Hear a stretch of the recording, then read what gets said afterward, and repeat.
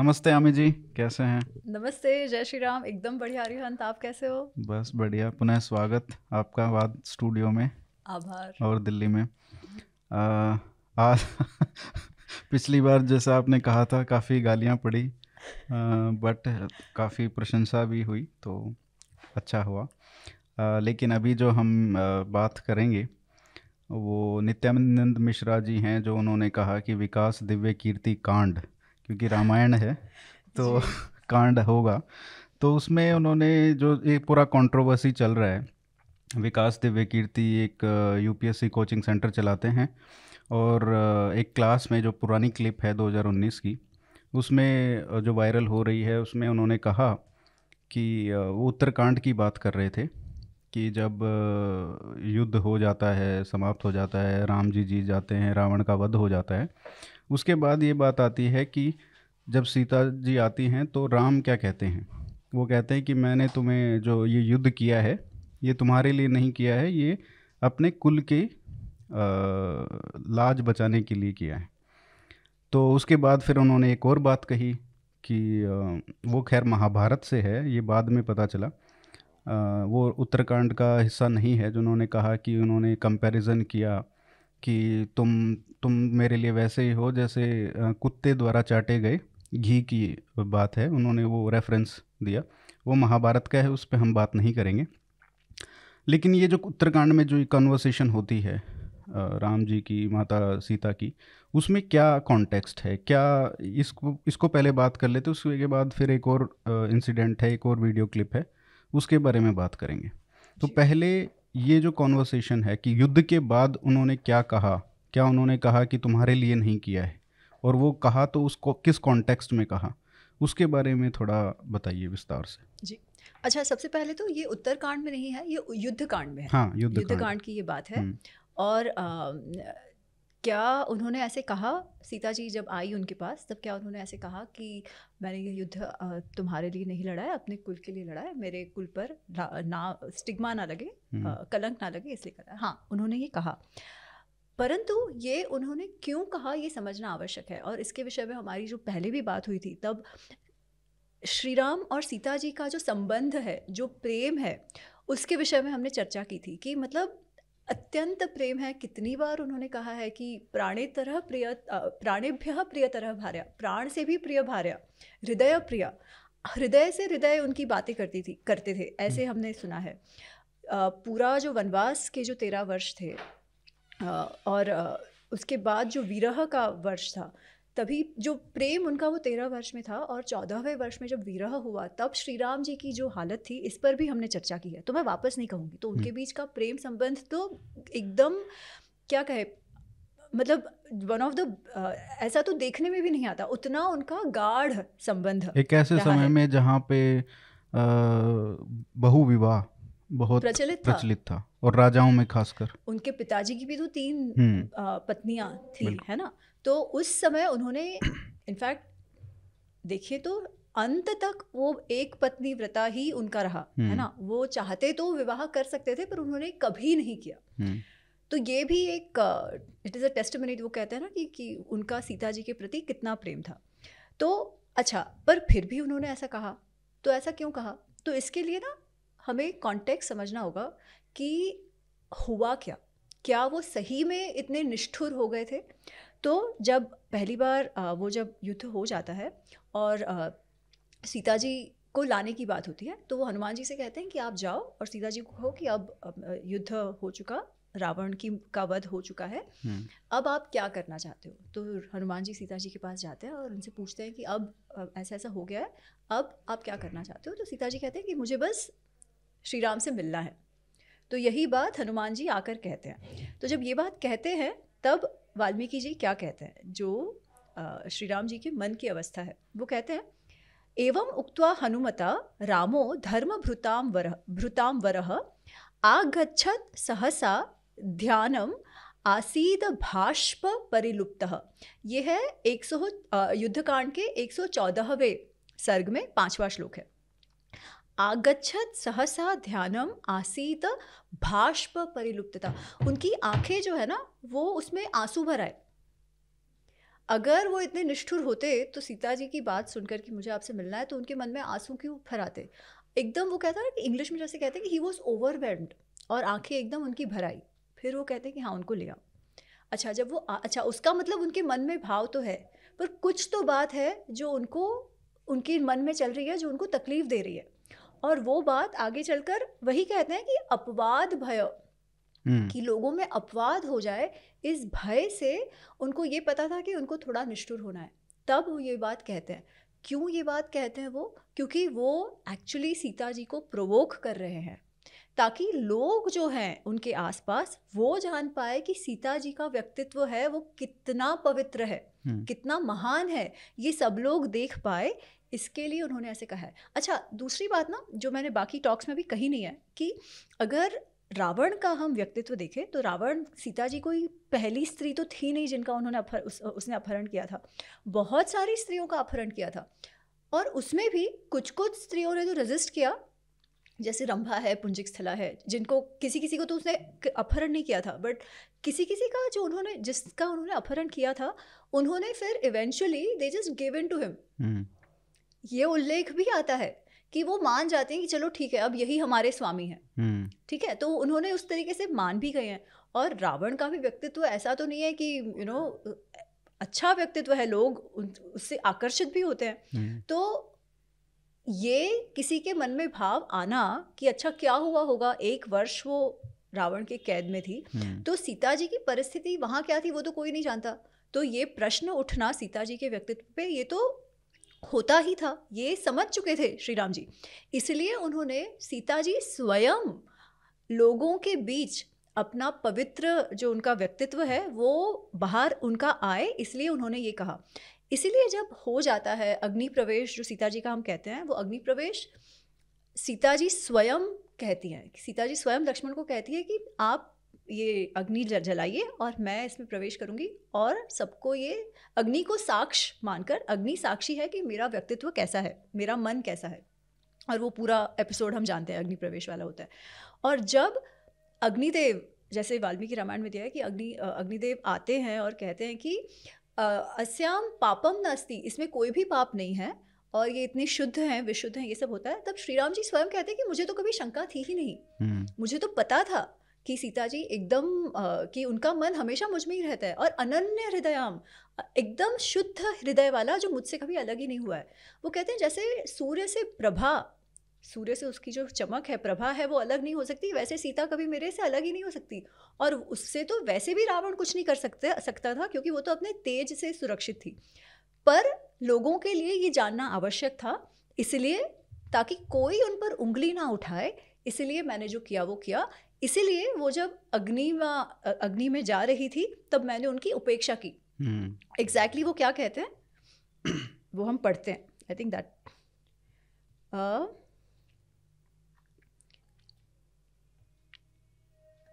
प्रत्यार्थम तो लोकानां त्रयाण त्रयाणां सत्य संश्रय उपेक्षे चापि वैदेही प्रविशंति हुताशनम। मैंने उसकी जब वो एंटर कर रही थी वो प्रवेश कर रही थी वैदेही तब मैंने उसकी उपेक्षा की। क्यों? प्रत्यार्थम ताकि लोगों को एविडेंस मिल जाए। लोगों को एविडेंस मिल जाए कि सीता जी का जो व्यक्तित्व है वो एकदम पवित्र है और मेरे सिवाय उन्होंने किसी और के विषय में कभी सोचा ही नहीं है। तो वैसे देखा जाए तो श्री राम को सीता जी के व्यक्तित्व की ही फ़िक्र थी की ही हम्म। चिंता थी जिसके कारण उन्होंने ये किया। और जैसे मैंने दूसरे इसमें भी कहा था सीता जी का अगर आप देखें तो हनुमान जी ने उनको देख लिया था जब वो अशोक वाटिका में थी और हनुमान जी कहते हैं कि आप मेरे साथ चलो हम्म। सीता जी तभी उनके साथ नहीं जाती हैं क्योंकि वो कहती हैं कि नहीं अगर मैं तुम्हारे साथ आई मैं हनुमान हनुमान अगर तुमने मुझे बचा लिया तो मुझे बचाने का श्रेय हनुमान को मिलेगा आपको मिलेगा हम्म। मेरे पति पर तो कलंक ही लग जाएगा कि वो अपनी भार्या की रक्षा ना कर पाए हम्म। मेरे पति पर ये कलंक लगे ये मैं बिल्कुल भी ये ये मैं नहीं सहन कर सकती। इसलिए मैं आपके साथ नहीं चलूँगी। आप श्री राम को कहो कि आए यहाँ पर रावण को हराए रावण का वध करे और मुझे मुक्त कर कर लेकर जाए। अब हम एक तरफ़ हमको लगता है कि अच्छा सीता जी की परीक्षा सीता जी को परीक्षा लेने पर ये मजबूर कर दिया गया। परंतु देखा जाए तो सौ योजन का पुल बाँध कर उनके पास वैसे देखा जाए तो सेना बड़ी थी ऐसा तो नहीं था। हम्म। और सीता जी को तो पता भी नहीं था कि वानर सेना जो है वो है कैसी है ना? फिर भी शी वांटेड कि श्री राम स्वयं आए अपने शौर्य का परिचय दे रावण को हराए और उनको मुक्त करे। तो वैसे देखा जाए तो एक तरीके श्री राम जी की भी तो परीक्षा ही हुई ना वो। ये तो बिल्कुल और पानी की परीक्षा भी है। हाँ और सीता जी को भी क्या चिंता थी कि श्री राम पर कोई कलंक ना उठाए उन लगे उन पे कोई उंगली ना उठाए। वही चिंता जो है वो श्री राम की भी है। इसलिए ये एपिसोड होने के बाद उन दोनों के बीच जो प्रेम है वो वैसे ही हो जाता है। जैसे पहले था सीता जी ने कभी ये नहीं कहा कि अरे मुझको कैसे ऐसे तुमने प्रश्न पूछ लिए? हम्म, ऐसा कभी नहीं हुआ। वो भी समझती थी श्रीराम ने ऐसा क्यों किया? और श्रीराम भी समझते थे कि सीता जी पहले हनुमान जी के साथ क्यों नहीं वापस आ गई हम्म। है ना? वो ये भी कह सकते थे कि अरे यार यू you नो know, आज जैसे कितने ख्याल लोग मरे होंगे उसमें युद्ध में दोनों तरफ़ से? कितने लोग? हम्म, है ना? कितने लोग? इनफैक्ट मेरे ख्याल से एक और क्लिप थी जहाँ पे कोई कह रहा है कि अच्छा अगर सीता जी पहले ही हनुमान जी के साथ आ जाती तो युद्ध नहीं होता। बात तो सही है हम्म, है ना? पर उन्होंने भी ऐसा इसीलिए नहीं किया क्योंकि अपने पति पर कोई कलंक ना उठाए। हम्म। तो और- ये कहीं ना कहीं ये तो बहुत अच्छा आपने बोला कि सीता जी ने भी राम जी की परीक्षा ली है। उस वो वहाँ पे हनुमान जी के साथ ना जाके। तो ये तो बहुत अच्छा है। और ऐसे नहीं क्योंकि उनको विश्वास नहीं था। हम्म। उनको तो विश्वास था जैसे श्री राम को भी विश्वास था वैसे ही हम्म। सीता जी को भी विश्वास था। पर लोग कोई उंगली ना उठाए। जो लोक अपवाद का भय जो श्री राम को था वही सीता जी को भी तो था। हम्म, तो लक्ष्य वही है कि परीक्षा लेना नहीं है वो कंसर्न जो है वो अलग है। और ये एक एक एक बात दिखाता है कि जब हम ये बोलते हैं और जब ये वी, वीडियोस वायरल होती हैं क्लिप्स वायरल होती हैं तो उसमें ये बोला जाता है कि आप छोटा सा क्लिप काट के आप तीन घंटे में से 45 सेकंड का क्लिप काट के आप वायरल करते हैं जो कॉन्टेक्स्ट सेटिंग नहीं करते हैं। तो एक तरीके से वही हो रहा है यहाँ पे भी कि आप एक अ, उसको वर्स को लेके आप उसको दिखाते हैं कि ये बोला है। और बल्कि आप ना पिछली वाली दिखाते हैं ना आगे वाली क्या बात हो रही है वो भी नहीं दिखाते हैं। तो इस तरीके से एक दूसरा प्रसंग आता है जो उन्होंने बोला है, शंभूक वध का। उन्होंने जो ललन टॉप का वीडियो है विकास दिव्य कीर्ति जी ने ये कहा है कि जब शंभूक का वध होता है तो वो मतलब पूरे राज्य में ये बात चल रही है कि कौन है जो यहाँ पे चीज़ें हो रही हैं, जो वध, लोगों मर रहे हैं तो उसका कारण क्या है? तो शायद कोई जिसको ये ये वर्शिप नहीं करना चाहिए, वो सब कर रहे हैं। तो उन्होंने कहा कि कौन कर रहा है? तो राम जी जाते हैं, फिर देखते हैं कि एक शंभूक है जो बोला जा रहा है, जो दलित वर्ड यूज़ हो रहा है, पता नहीं है वो किस, कौन, कैसे वो हो रहा है। बट चलो, दलित वर्ड का यूज़ किया है? कि वो दलित थे, इसलिए फिर वो जब बोलते हैं कि मैं पूजा कर, यहाँ पे वो कर रहा हूँ, इसलिए जब वो दलित बोलते हैं या वो अपना जो भी शब्द है तो उनको उनका सर काट देते हैं। तो उन्होंने वो एक तरीके से किया है कि अब काट दिया तो मैं क्या करूँ? उन्होंने जब ये बोला तो उन्होंने राम जी ने काट दिया मैं इसमें मैं क्या कर सकता हूँ? जो उनके शब्द हैं। तो ये बताइए कि शंभूक वध जो है, वो किस कॉन्टेक्स्ट में है और क्या रीज़न है? क्या उनको शूद्र होने की वजह से दलित होने की वजह से जब उन्होंने बोला कि मैं शूद्र हूँ, इसलिए काटा, सर? या फिर कोई और कारण है?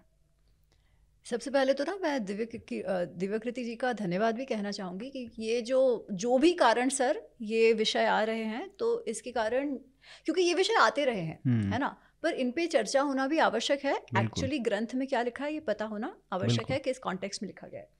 तो ठीक है इस पर चर्चा हो रही है। अच्छा अब शंभुक वध की जो बात है उसमें ऐसा है कि शंभुक वध उत्तरकांड में आता है। और जब जैसे हमने पहले जो हमारी रामायण वाली जो चर्चा थी जब रामायण अनरावल पर हम कर रहे थे तब हमने ये ये ये हमने डिस्कस करा था कि उत्तरकांड जो है काफ़ी काफ़ी सारे स्कॉलर्स जो हैं जो विद्वत गण हैं वो मानते हैं कि उत्तरकांड वाल्मीकि रामायण का भाग नहीं है वो हम्म। प्रक्षिप्त है बाद में लिखा गया है उसी और एक दूसरा वर्ग है स्पेशली जो ट्रेडिशनल स्कॉलर्स का वर्ग है उनका मानना है कि उत्तरकांड है। हम्म, और दोनों ही पक्षों के पास बहुत ही बहुत सारे कारण हैं जिसके कारण वो ये बात मानते हैं। तो उस चर्चा में मैं नहीं जा रही। रामायण अनरावल में मैंने शंभुक वध पर बात करी है एपिलॉग में करी है क्योंकि जिसको मानना है कि उत्तरकांड है वो वो पढ़ सकते हैं जिनका मानना है उत्तरकांड नहीं है वो छोड़ सकते हैं। तो उसमें उस है कि नहीं है कि चर्चा नहीं है। अब प्रश्न यह है कि क्या अगर है तो भी is it as simplistic as saying कि वो दलित अच्छा दलित शब्द का तो कहीं उपयोग ही नहीं है। हम्म, वो शूद्र है हाँ शूद्र की बात है। तो वो शूद्र थे केवल इसीलिए मार दिया गया। हम्म। क्या ये बात है? तो ये भी पूर्ण ये भी मेरे को मैं ये भी क्लैरिफाई कर दूँ शायद मेरे को भी पता नहीं कि विकास जी ने ये बोला है। शायद दलित बोला है या शूद्र बोला है उन्होंने भी शायद शूद्र ही बोला है। हाँ। तो दलित का मुझे ये ये मैं करेक्ट कर दूँ? नहीं पर मेरे ख्याल से बहुत लोग बहुत दलित लोग समझ रहे हैं। हाँ, है ना? हाँ। उन्होंने विकास सर ने नहीं भी कहा हो तो हम्म। बहुत लोग उसे दलित ही समझते हैं। हम्म, हम्म। पर दलित का तो कोई उल्लेख हमारे ग्रंथों में कहीं है ही नहीं।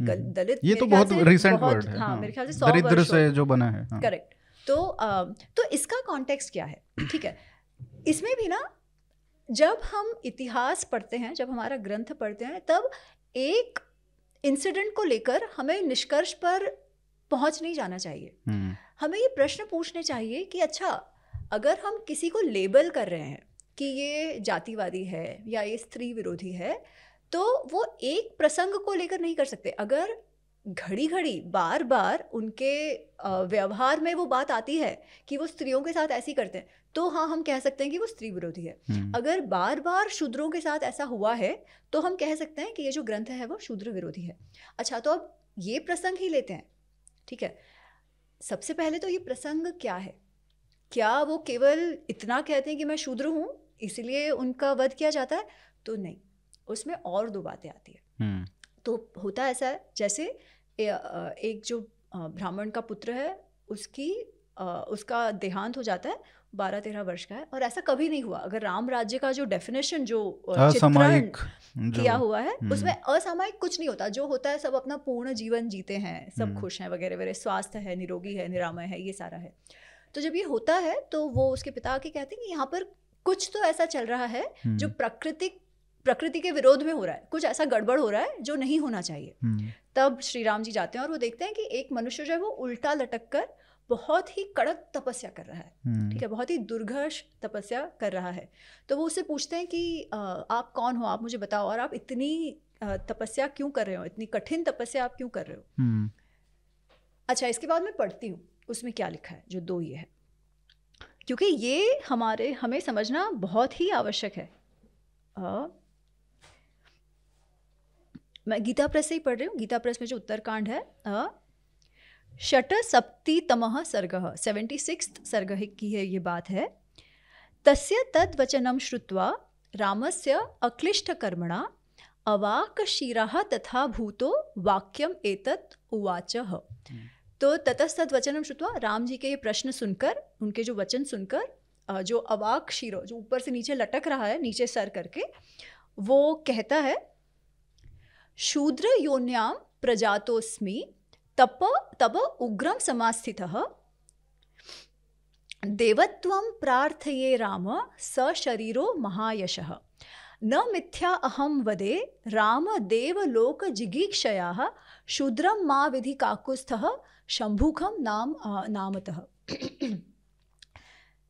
तो ये कहा जाता है कि उन्होंने कहा कि मैं शूद्र हूँ और उनका गला काट दिया। नहीं, उन्होंने शूद्र हूँ तो कहा, पर उसके साथ साथ कहा देवत्वं प्रार्थये राम स शरीरो महायशः। न मिथ्या अहम वदे राम देवलोक जिगीशया देवत्वम प्रार्थये, मैं देवत्वम चाहता हूँ। मैं देवत्वम चाहता हूँ और कैसा? स शरीर। हमको अगर स्वर्ग भी जाना हो तो जी, ज़िंदा तो नहीं जा सकते। मृत्यु के पश्चात ही स्वर्ग मिलता है। hmm. तो और वो कहते हैं कि मैं देवत्वम की प्रार्थना चाहता हूँ मैं देव बन जाना चाहता हूँ मैं सशरीर देवलोक भी जाना चाहता हूँ बिना मरे ही स्वर्ग को प्राप्ति के लिए वो तपस्या कर रहा तपस्या है कर रहा है ठीक हम्म। है और मैं जिगी विषय जिगी शया कि उसका मैं प्रा, प्राप्त कर लूँ देवलोक देवलोक पे अधिपत्य प्राप्त कर लूँ ये मैं चाहता हूँ। इसके पश्चात राम जी ने अपना खड़ंग निकाला और उसे मार दिया। मार दिया और ये कहते हैं कि तुरंत त्वरित ही जो पुत्र जिसका देहांत हो गया था जो शायद अनकॉन्शियस हो गया जो भी वो वापस जीवित हो जाता है। अच्छा ये प्रसंग है। अब इसको देखते हैं। पहली बात क्या रामायण में ही और शूद्रों की बात आई है जो तपस्या करते हैं? अगर वो करते हैं तपस्या और उनको श्री राम जी ने कुछ नहीं कहा करा तो उसका अर्थ केवल तपस्या कारण नहीं हो सकता। हम्म। तो एक हम श्रवण का नाम आता है। श्रवण का नाम तो आज भी हम बहुत आदर सत्कार से लेते हैं। हम्म। श्रवण जो है उनके पिता वैश्य है माता शूद्र है। ये बात वाल्मीकि रामायण में बहुत ही क्लियरली लिखी हुई है। अयोध्या कांड का ये प्रसंग है। हम्म। तो अगर वैश्य पिता और शूद्र माता है तो उनके जो बच्चे हैं वो शूद्र कैटेगरी में ही आएँगे ठीक है? उनको तपस्वी कहा गया है। कितनी बार श्रवण का जब नाम लेते हैं तो तपस्वी कहा गया है क्योंकि वो वन में रह के तपस्या करते थे। तो श्रवण को तो किसी ने तपस्या करने के लिए नहीं मारा। शबरी का तो हम जानते हैं वो भी तपस्विनी थी। उनको तो किसी ने नहीं मारा श्री राम जी तो मिले थे उनसे। तो उसका अर्थ केवल तपस्या करना शबरी तो आश्रम में भी रहती थी। Even hmm. इनका जो श्रवण का जो था वो सपरिवार अपने आश्रम में ही रहते थे। तो केवल तपस्या करना करना तो कारण नहीं लग रहा। हम्म। कि आप देव नाम लो या तपस्या करो उससे तो कोई बात नहीं है। अच्छा तो अब दूसरी बात आती है। तो क्या जिस प्रकार तपस्या हो रही थी वो कारण हो सकता है क्या? तो उसका उदाहरण कोई हमें मिलता है कि और किसी ने अगर ऐसी कामना करी है सशरीर देवत्व प्राप्त करने की तो उनके साथ क्या हुआ? जो जो जो पूरा नेचर के खिलाफ है। विरुद्ध है हम्म। एकदम है ना? प्रकृति के नियम के विरुद्ध है हम्म। ये उदाहरण भी हमें वाल्मीकि रामायण में ही मिलता है। त्रिशंकु नामक श्री राम के ही एक श्री राम के ही वंश के एक राजा हैं उनके कैंसिस्टर हैं पूर्वज हैं। हम्म। त्रिशंकु को भी सशरीर देवत्व प्राप्ति की कामना है। और वो अपने जो सॉरी कुलगुरु हैं वशिष्ठ जी उनके पास जाते हैं और कहते हैं कि आप मेरे लिए यज्ञ करिए। आप यज्ञ करिए जिससे मुझे सशरीर देवत्वम की प्राप्ति हो। वशिष्ठ कहते हैं ऐसा नहीं हो सकता। ये कामना भी आप मत करो ये नहीं हो सकता आप जाओ मैं ऐसा कोई यज्ञ नहीं ऐसे किसी यज्ञ का अनुष्ठान नहीं करूँगा हम्म। पर त्रिशंकु को तो हट है कि करना है तो वो फिर जाते हैं वशिष्ठ जी के बच्चों के पास और वो उनसे कहते हैं कि आप मेरी ये कामना पूर्ण करिए आप ऐसा यज्ञ का अनुष्ठान करिए सबको बुलाइए जो भी और ऋषिगण हैं जिससे मुझे सशरीर देवत्वम की प्राप्ति हो हम्म। तो वो जो वशिष्ठ जी के पुत्र हैं वो कहते हैं कि अरे आपको आपने पूछ लिया वशिष्ठ जी से गुरु से गुरु जी से पूछ लिया आपने। उन्होंने मना करा है फिर भी आप हमारे पास आयो हम ऐसा कुछ नहीं करेंगे। पर वो हट लेके बैठ जाते हैं कि नहीं मुझे तो करना है। तो हम्म। क्रोध में वो जो वशिष्ठ जी के पुत्र हैं वो श्राप दे देते हैं। त्रिशंकु को राजा को श्राप दे देते हैं इक्ष्वाकु वंश के राजा को श्राप देते हैं कि वो चांडाल बन जाएँगे। हम्म। और फिर उसी अवस्था में वो श्रापित अवस्था में वो भटक रहे हैं। तो जब वो भटक रहे हैं तो उनकी उनकी भेंट होती है विश्वामित्र जी से। अच्छा अब विश्वामित्र के जीवन विश्वामित्र जी के जीवन का ये वो आ, समय है जब वो उग्र तपस्या कर रहे हैं क्योंकि वो ब्रह्मत्वम की ब्राह्मणत्वम की प्राप्ति चाहते हैं। हम्म। क्यों? क्योंकि वशिष्ठ के साथ उनका पंगा हो गया था हम्म। है ना? गुरु ऋषि वशिष्ठ के साथ। तो वो उस उनकी वो विश्वामित्र बने नहीं अब तक। वो कौशिक ही है। कौशिक जो उग्र तपस्या कर रहे हैं। तो उनसे भेंट होती है त्रिशंकु की और त्रिशंकु वो पूछते हैं कि अरे आपकी ऐसी अवस्था कैसे हो गई महाराज? तो वो कहते हैं कि अच्छा ऐसे ऐसे हुआ वो पूरा प्रसंग उनको सुनाते हैं और मुझे ऐसे श्राप दे दिया। अच्छा अब उनकी तपस्या शुरू हो गई होती है कुछ कुछ सिद्धि हो, हासिल होने लगी है उनको। तो वो सिद्धि हासिल होने के कारण वो कहते हैं अच्छा वो भले ही ना करे मैं आपको करके दिखाऊँगा। हम्म। और ऐसा कुछ है कि वो यज्ञ और क्योंकि उनसे सब डरे भी होते हैं तो ऋषिगण आ भी जाते हैं। यज्ञ का अनुष्ठान होता है और उनको सशरीर स्वर्ग भेजा जाता है। ऊपर से उनको ढकेल दिया जाता है। This is how the story comes ठीक है? कि ऊपर से उनको वापस नीचे गिरा दिया जाता है। अच्छा बेसिकली उसका अर्थ यज्ञ निष्फल हो गया था ऐसा हो नहीं पाया। hmm. इसलिए और क्रोध में भरकर विश्वामित्र कहते हैं ठीक है आपने नहीं किया कोई बात नहीं मैं अलग से उनके लिए लोक बना दूँगा वगैरह वगैरह। ठीक है उस सब इसमें नहीं जाते। अच्छा ये होने के बाद सबसे पहली बात तो ये होने के बाद वो जो है उनको और तपस्या करनी पड़ती है विश्वामित्र को क्योंकि उन्होंने अपने काम क्रोध लोभ मोह पर ये कंट्रोल पाया नहीं है। हम्म। इसलिए उनका वो जो तपस्या हुई है वो नष्ट हो गई है उनको वापस करनी पड़ रही है। ठीक है? इस ये कारण सर। और त्रिशंकु को जो एक्चुअल स्वर्ग लोग है वो तो वैसे भी नहीं मिलता। हम्म। अच्छा अब लोग कहेंगे उनकी मृत्यु उनको मारा क्यों नहीं? अच्छा क्योंकि वो स्वयं तो तपस्या नहीं कर रहे थे ना। हम्म। और वो तपस्या तो निष्फल हो गई थी। तो वो एक अलग चीज़ है। पर उसका अर्थ स्वयं राजा भी अगर ऐसी कामना करता है जो प्रकृति के विरोध में है तो वो भी सफल नहीं हुई है और उनको करने नहीं दिया गया है। इतने हद तक कि राजा को भी श्राप श्राप दे दिया गया है। हम्म। तो इस तो फिर इस घटना को हमें कैसे लेना चाहिए? कि अगर ऐसी कोई कामना करता है जो प्रकृति के नियम के विरोध हो तो और उसके कारण किसी और की मृत्यु हो जाए तो फिर कुछ तो गड़बड़ है ना?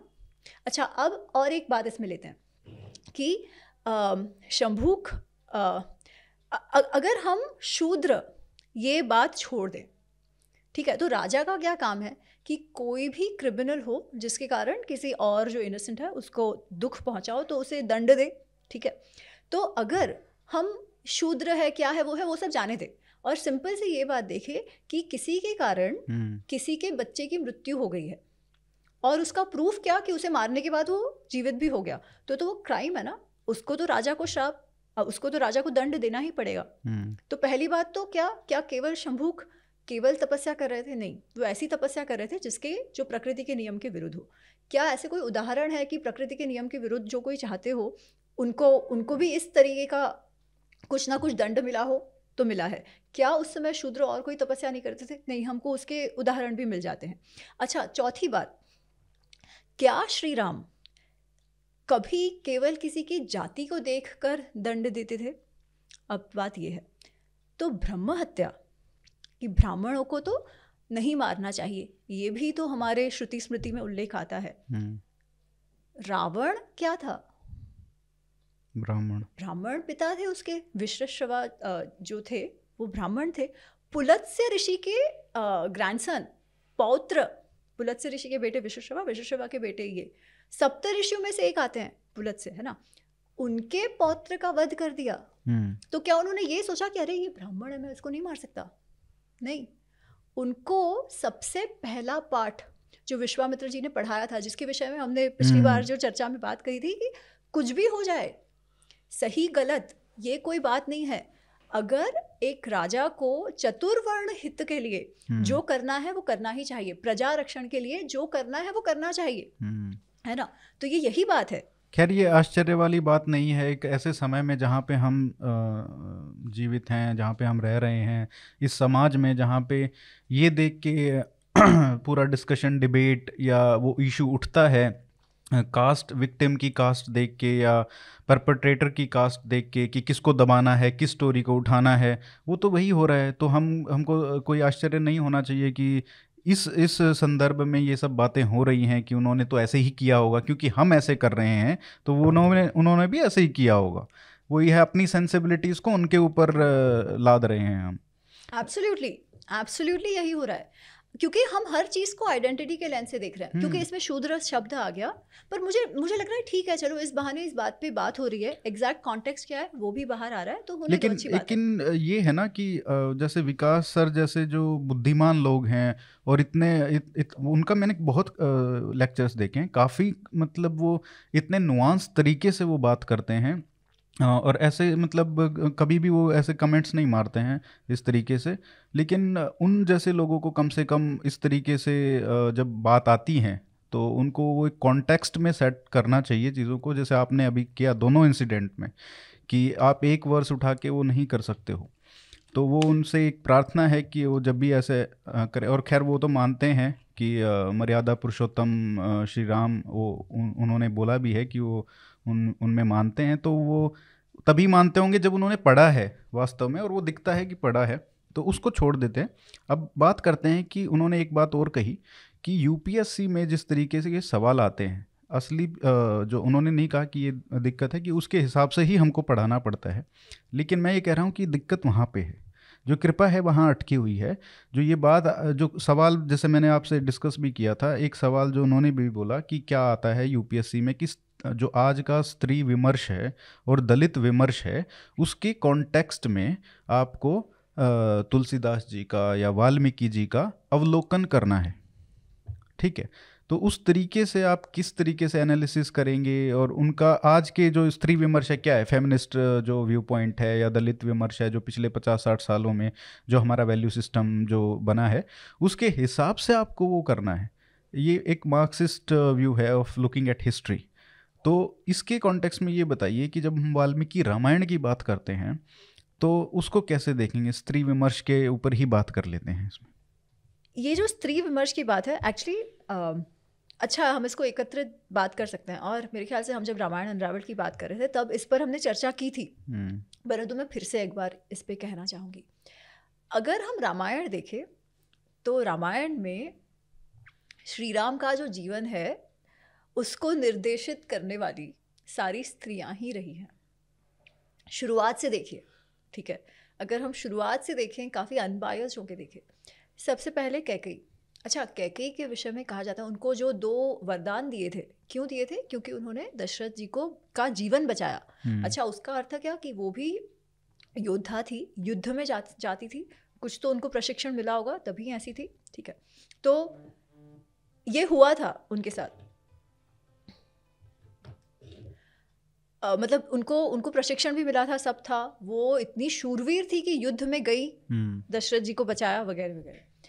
अच्छा श्री राम जी का तो अभिषेक होना था राज्याभिषेक होना था। वनवास में उनको किसने भेजा? कैकई जी ने? कैकई स्त्री थी। हम्म। कैकई जी के कहने पर राजा दशरथ ने जो निर्णय अपने प्रजा के साथ लिया था उस पे पीछे हट करा। हम्म। अयोध्यावासी सारे चाहते थे कि श्री राम राजा बने। और ये बात तो मतलब दशरथ जी ने स्वयं नहीं अच्छा मेरा बेटा राजा बन जाए नहीं ऐसा नहीं था दशरथ जी ने सबसे पूछा था कि आपको क्यों लगता है श्री राम ठीक है राजा हम्म। बनने के लिए अगर आप मानते हो कि वो ठीक है तो ही उसे राजा बनाएँगे नहीं तो नहीं हम्म।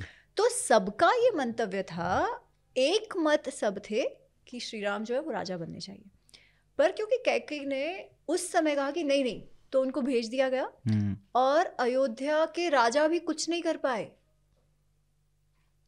ये कोई ऑप्रेस्ड स्त्री की बात है? अच्छा आ, वो कहानी में आऊँ? अच्छा एक्चुअली चलो आगे जाते हैं कि जो उसके बाद जो सीता जी का वन में जाने की बात है। तो श्री राम जी ने कोई ज़बरदस्ती तो नहीं करी थी कि नहीं नहीं मेरे साथ वन में चलो तुम मेरी भार्या हो मैं जहाँ जाऊँगा तुम्हें मेरे पीछे पीछे चलना है चलो ऐसी तो बात नहीं है। वो तो उल्टा कह रहे हैं कि तुम मत चलो वन का जीवन जो है वो तो बहुत ही भयंकर है। हम्म। उस समय सीता जी कहती हैं कि अरे भयंकर है आप मुझे डरा क्यों रहे हो? आप मुझे मेरी रक्षा नहीं कर सकते।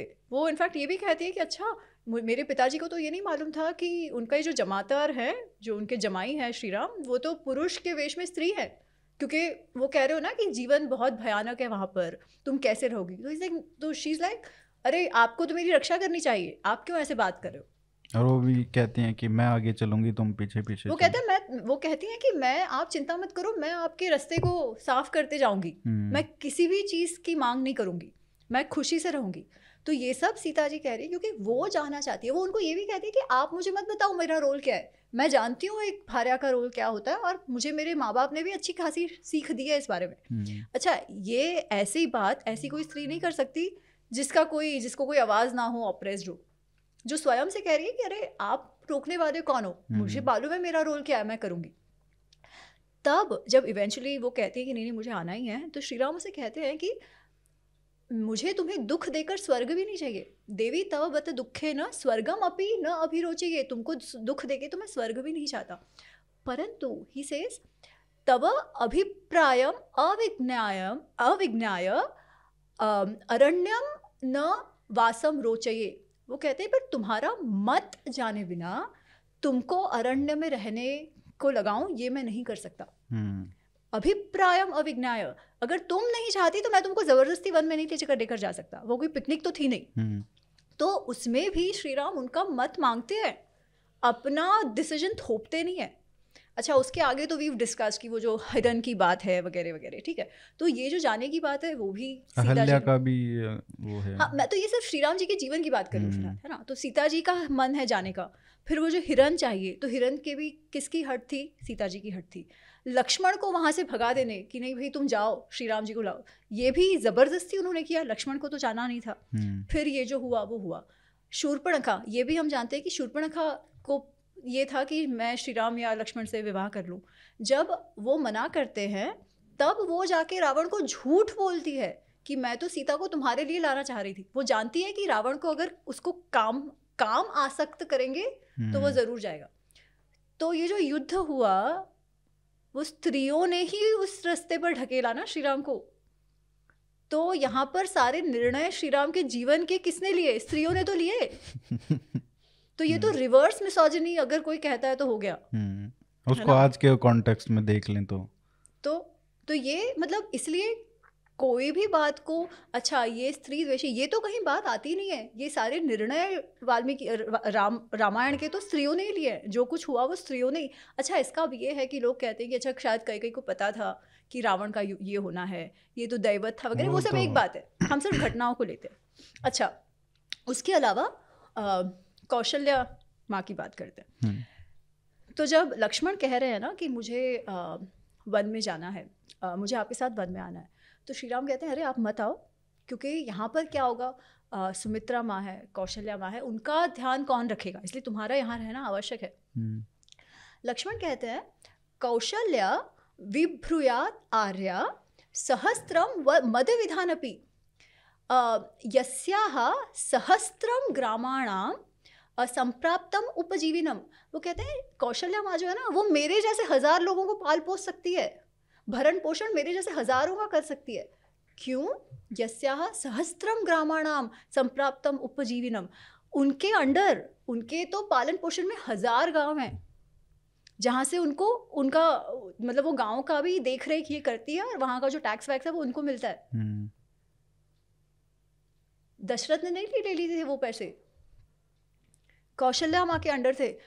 तो लक्ष्मण कहते हैं उनकी तो आपको चिंता करने की आवश्यक नहीं है मेरे जैसे हज़ारों को वो पाल सकती है सुमित्रा माँ का भी वो ध्यान रख सकती है उनकी तो चिंता करने जैसा है ही नहीं। और राम कहते हैं हाँ बात ठीक है। मतलब लिटरली ये नहीं कहते वो कहते हैं हाँ ठीक है। वो जानते हैं ना हम्म। कि इतना है। ये अलग चीज़ है कि कैकई जी और कौशल्या माँ का क्या डायनामिक्स था वो सब अलग चीज़ है हम्म। ठीक है? परंतु क्या वो इंडिपेंडेंट है फाइनेंशियली हाँ। As a rani she is financially independent तो ये भी उनकी बात है अहल्या की बात तो हमने पिछली बार कही थी कि हम्म। मतलब जो टिपिकल नारेशन है कि उनको फंसाया गया और फंसाने के बाद केवल उनको पनिश किया गया और उसके बाद उनको पत्थर बना दिया गया और श्री राम जी ने उनको पाँव लगाया ये तो बात थी ही नहीं हम जानते हैं कि तो बात है ही नहीं अरे उनको फंसाने की भी तो बात नहीं है हम्म। उन्होंने स्वयं अपने मन से अपने होशो हवास में कंसेंट दिया था हम्म। क्योंकि उनको कुतूहल था देव राजा कुतूहलात। मथी चकार दूर में थे कि वो देवराज मुझको पसंद करते हैं इस कुतूहल में। इसमें एक लैप्स ऑफ़ जजमेंट हो गया। हम्म। वो मती थोड़ी सी ये हो गई क्योंकि देवराज मुझे पसंद करते हैं। हम्म। तो उन्होंने अपने होशो हवास में कंसेंट दिया है और जब पनिशमेंट भी दोनों को मिला है दंड भी इंद्र को भी नपुसंग होने का मिला है और इनको गौतम कहते हैं कि नहीं तुम पश्चाताप करो।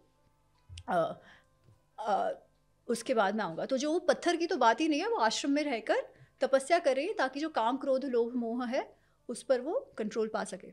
और जब उन्होंने ये पाया तब जब पहली बार जब श्री राम और लक्ष्मण को लेके विश्वामित्र जा रहे हैं और विश्वा श्री राम पूछते हैं कि किसका आश्रम है हम्म। तो विश्वामित्र कहते हैं जो मैंने अपने पिछली बार भी कहा था कि यहाँ पे तपस्विनी एक रहती है एक देव रूपिणी तपस्विनी यहाँ पर रहती है आओ और उनके पैर छुओ। पादव जग्रहतौ ऐसा है कि वो दोनों राम लक्ष्मण ने उनके पैर छुए। उन्होंने अहल्या के पैर छुए क्योंकि वो देव रूपिणी तपस्विनी थी। हम्म। ऐसा उनका जो व्यक्तित्व है उसके बारे में बताया गया।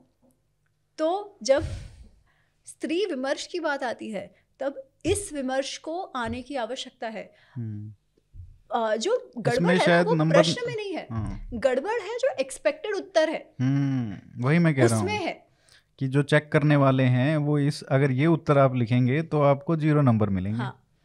क्योंकि एक है ना कि वो विक्टिम ही होना चाहिए स्त्री है तो विक्टिम ही होना चाहिए हम्म। ये जो एक बात हो गई है हम्म। अच्छा इसमें स्त्री विमर्श जो बात किया ये रामायण की है महाभारत की थोड़ी बात कर लेते हैं क्योंकि अभी तो रोज ऐसे ही बातें हो रही हैं तो क्या पता हाँ। महाभारत पे भी अब प्रश्न आ जाए यूपीएससी में तो उसका उत्तर बताइए अच्छा सा एक्चुअली महाभारत में भी ऐसा है और जो हम्म। महाभारत अनरावल की हमारी बात हुई थी जब तब तब शायद ये हुआ था बट पुस्तक में भी महाभारत अनरावल में मैंने सभी स्त्री कैरेक्टर्स पर व्यक्तित्व पर लिखा है बिकॉज़ हम्म। ये जानना आवश्यक है टिपिकली जब महाभारत की भी बात होती है तो वो वस्त्रहरण का एपिसोड लेते हैं और उसको एक्स्ट्रापोलेट करके बोल देते हैं स्त्री द्वेषी समाज छोटे छोटे इंसिडेंट्स लेते हैं बड़े छोड़ दो छोटे छोटे हम्म। गांधारी का जब उल्लेख आया है आदि पर्व में तो उसमें ऐसा है दुर्जन दुर्योधन से जननी अर्थशास्त्र विशारद विशारद दौ ड्यूअल टेंस है। दौ क्यों? क्योंकि उसके पहले की लाइन में शकुनी की बात आई है। तो वो कह रहे हैं शकुनी और गांधारी दोनों ही अर्थशास्त्र में विशारद है।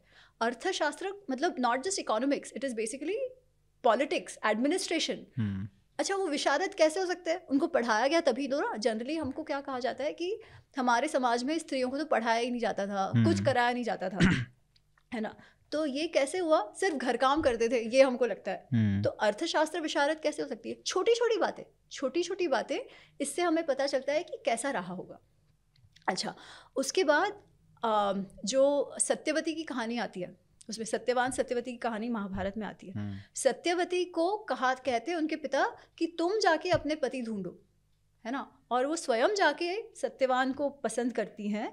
अच्छा हमारे में स्वयंवर की बात तो वैसे ही है कि स्वयं स्त्री चुने उनका पति। ये एम्पावरमेंट नहीं है तो क्या है? सबसे बड़ी बात तो ये है ना आपके जीवन का जो सबसे बड़ा निर्णय है वो आप स्वयं लो। हम्म। तो ये बात तो है तो उसी इसमें सत्यवती भी स्वयं ढूंढती है।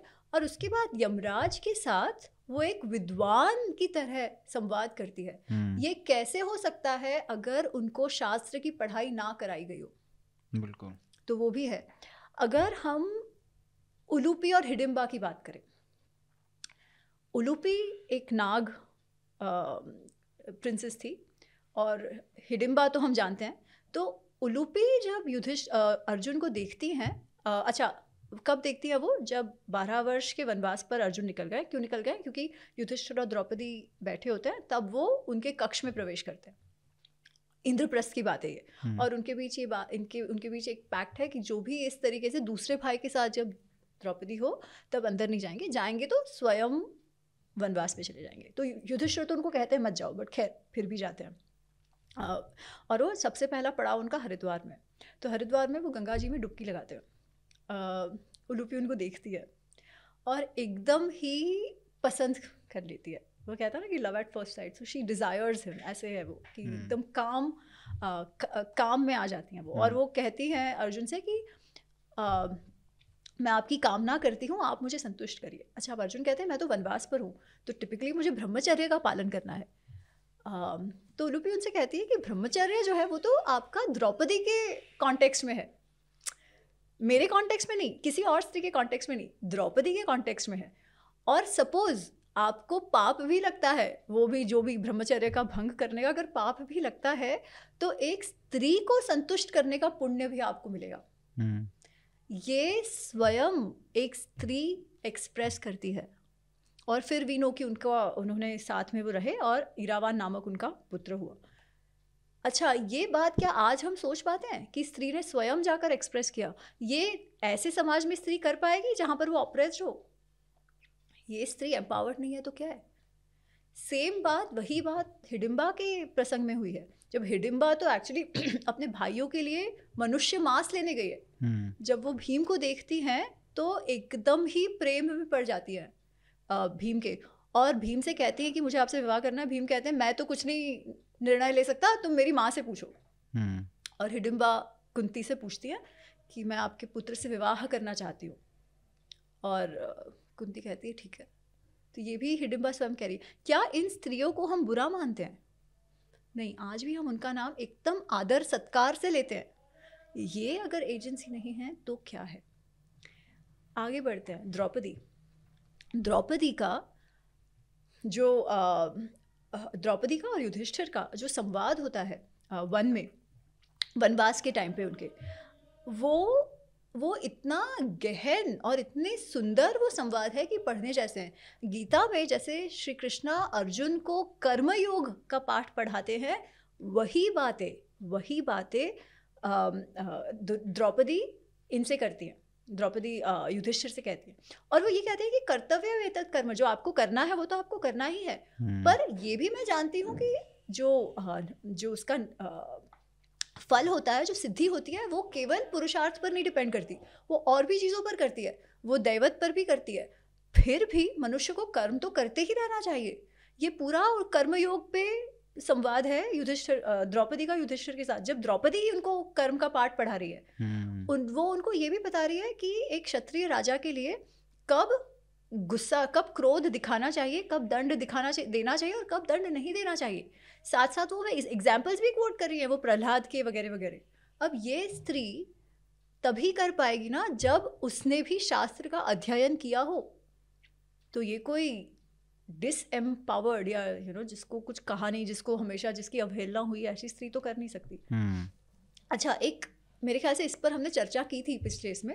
मैं जस्ट थोड़ा सा कह देती हूँ। एक द्रौपदी सत्यभामा संवाद आता है वनवास के टाइम पे जब सत्यभामा पूछती हैं द्रौपदी से कि अरे तुम्हारे पाँच पति है वो हमेशा तुम्हारा मुख देखते रहते हैं हम्म। तुम्हारे वश में रहते हैं तुम जो कहती हो वो कर देते हैं। तो ऐसा कौन सा वशीकरण मंत्र है मुझे बताओ? क्योंकि तुम्हारे पाँच पति तुम्हारे वश में रहते हैं मेरे तो एक पति कृष्ण मेरे वश में नहीं रह पाते तो उनको वश में रखने के लिए मैं क्या करूँ? और द्रौपदी कहती हैं कि ऐसा कोई वशीकरण मंत्र नहीं होता पर मैं जब इंद्रप्रस्थ की रानी थी और मेरा जीवन कैसे था उस विषय में तुम्हें बताती हूँ। वो पूरा संवाद इतना सुंदर है कि जैसे कोई सी एफ़ ओ सी ओ ओ हो ना कंपनी का हम्म। उसकी तरह द्रौपदी काम करती हैं। जो सारे अतिथि और राजमहल में अतिथि मतलब लाखों की संख्या में लाखों की संख्या में अतिथि आएँगे उनका खाना पीना सब देखना। उसके अलावा उन लाखों लोगों को संभालने के लिए दास दासियाँ सारे होंगे जो आपके काम करने आएँगे। वो कहती है उन सबको मैं नाम सहित हज़ारों में जो दास दासी उनको नाम सहित जानती थी वो क्या हुआ है क्या नहीं हुआ है क्या करते हैं क्या नहीं करते हैं उन्होंने खाना खाया कि भी नहीं वो भी मैं ध्यान रखती थी। अच्छा उसके अलावा वो कहते हैं कि कहती है कि जब युधिष्ठिर यात्रा पर जाते थे तो उनके साथ जो रथ घोड़े हाथी हम्म। जो भी जाते थे उस सब का क्या कितने गए हैं कितने आए हैं ये सब का भी मैं ध्यान रखती थी। अच्छा उसके बाद वो कहती है कि सर्वराज्ञ समुदयम आयम च व्ययम च। एको अहम अपनी वेदमी। पूरे राज्य में का जो कोष, पूरे राज्य का जो ट्रेजरी है, जो वेल्थ है, आय और व्यय कितना इनकम है, कितना एक्सपेंडिचर है? मैं केवल मैं मैं अकेली ही एको अहम अभी मैं अकेली ही जानती थी कितना आया है कितना गया है हम्म। फिर वो आगे कहते कि इन, इनका जो हमारा कोष था इंद्रप्रस्थ का वो तो वरुण देव जैसे था कि वरुण देव की समुद्र में जितने रत्न होते हैं कभी खत्म नहीं होते वैसा वो भी वो कहती है एको अहम अभी वेशमी वेदमी कोश वही कि ये जो पूरा कोष जो इंद्रप्रस्थ का था ऐसा उसकी पूरी ट्रांसपेरेंसी भी केवल मुझे ही थी किसी हम्म। भाई को भी नहीं ये स्त्री है वो। जिसको हम कहते हैं कि ये लोग स्त्री द्वेष करते हैं। इतनी ट्रांसपेरेंसी कभी किसको मिल सकती है? एक तो जो केपेबल हो जो कर सकती हो और जिस पे आप विश्वास कर पाओ। तो क्या ये अच्छा आप इस पर अगर स्त्री विमर्श करेंगे तो आपका निष्कर्ष कुछ और ही निकलेगा ना। हम्म। पर हम ये प्रसंग कभी बात ही नहीं करते। एक प्रसंग को उठा लेंगे और उस पर चर्चा शुरू कर देंगे। तो ये है यूपीएससी के बच्चों के लिए एक अच्छा सा दस मिनट का आंसर। अगर महाभारत पे पूछा जाए लिख लीजिए ट्रांसलेट कर लीजिए जिस भी भाषा में आप देते हैं एग्ज़ाम अमित जी बहुत बहुत धन्यवाद आपका. आप आए मिले हमसे और इस बात पे चर्चा की जो पूरे लाखों लोग जो इस पे बात कर रहे हैं आज उस पर बहुत क्लैरिफिकेशन अब हो गया है. आ, मतलब टॉपिक से आगे बढ़ के हो गया है अब तो इसके कॉन्टेक्स्ट पीछे का आगे का किस कॉन्टेक्स्ट में बोला दोनों इंसिडेंट और उसके बाद जो स्त्री विमर्श का है दलित विमर्श पे फिर कभी देख लेंगे। आ, आपको जाना भी है। तो बहुत बहुत धन्यवाद। थैंक यू सो मच और आप ऐसे ही आते रहिए। हमारा ज्ञान वर्धन करते रहिए। धन्यवाद। बहुत बहुत आभार Arihant always happy to come आप बुलाइए बस। आप आते रहिए दिल्ली। Okay thank you